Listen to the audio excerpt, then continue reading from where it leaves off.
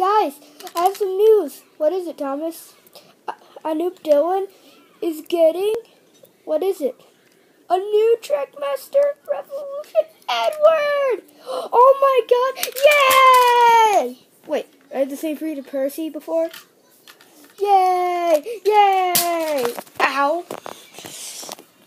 That's right. Anoop Dylan is is getting a Trackmaster Edward for his birthday. Now let's go party. Vroom vroom.